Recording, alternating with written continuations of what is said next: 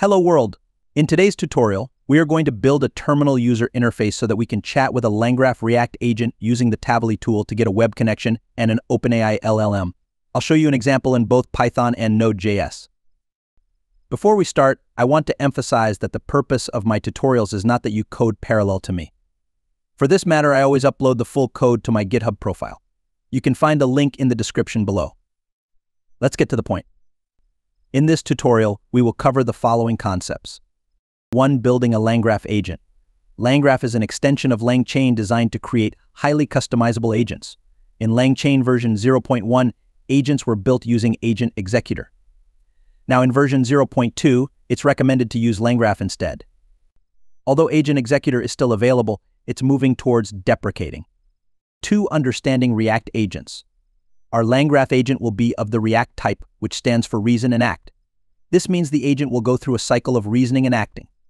If you want to learn more, there's a link to a scientific article in the description below. Basically, the agent will decide whether to use tools or not and will keep repeating this reason and act process until it finds an answer for the user. 3. Connecting an agent to the web with Tavily.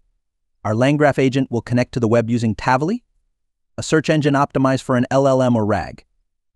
This allows the agent to access real-time data beyond what the LLM the agent is using was originally trained on, enabling it to answer questions based on the latest information available. Now, let's take a look at the code editor.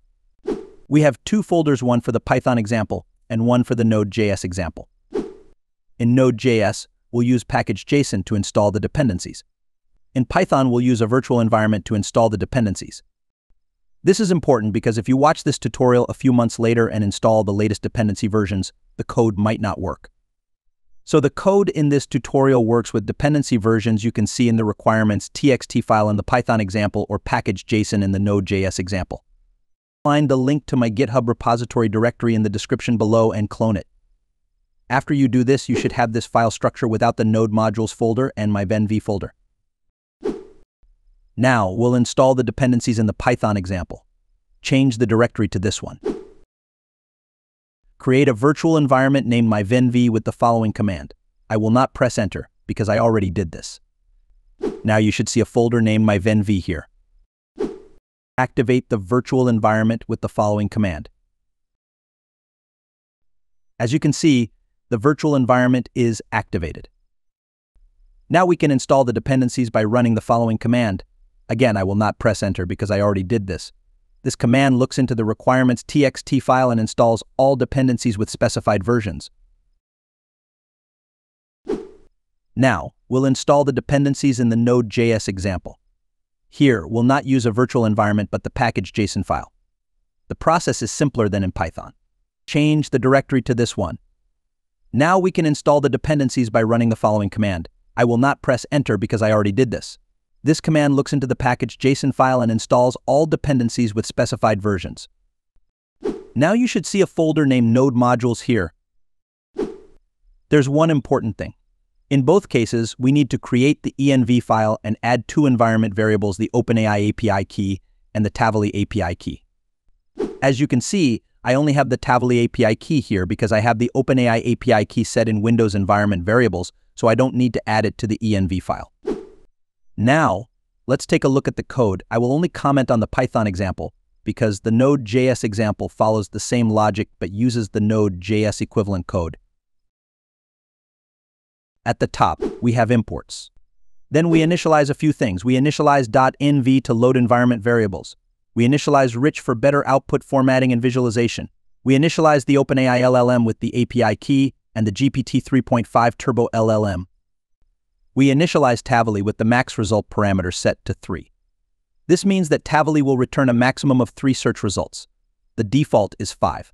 Setting this number higher means you'll likely get a better answer from the agent, but you'll also make more Tavily API calls. Next, we create a LangGraph agent of the ReAct type. This is a LangGraph pre-built agent, meaning we don't have to do anything but use it.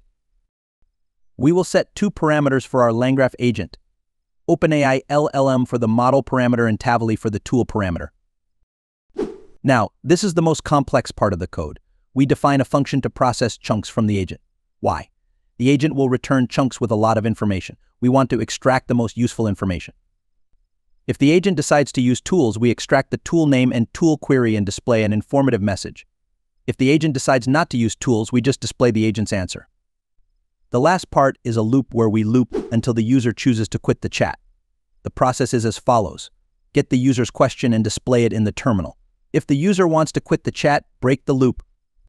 If the user doesn't want to quit the chat, pass the user's question to the agent, which will generate chunks that we process with the function we defined above. I would like to emphasize that here we use the stream method. Using the stream method, we get chunks from the agent.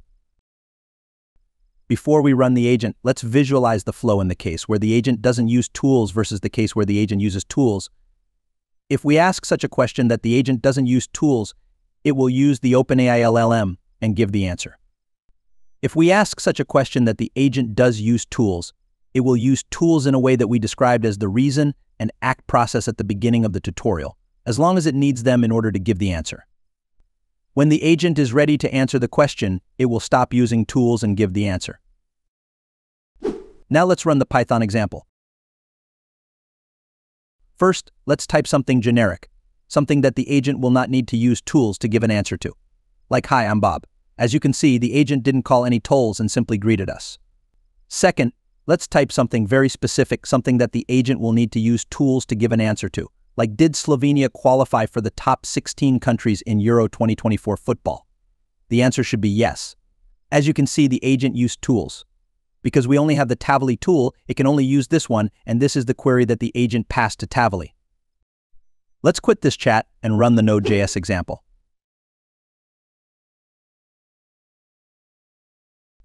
Again, we will ask two questions. For the second question, the agent should use tools and the answer should be yes. Slovenia did qualify for the top 16 countries in Euro 2024. The GPT 3.5 Turbo LLM was not trained on this data since it's a few days old. Slovenia qualified just a few days ago, yet the agent is able to answer this question with the help of Tavily. Mind-blowing, isn't it? That's it. Thanks for watching. If this tutorial was helpful, please like, comment, and subscribe.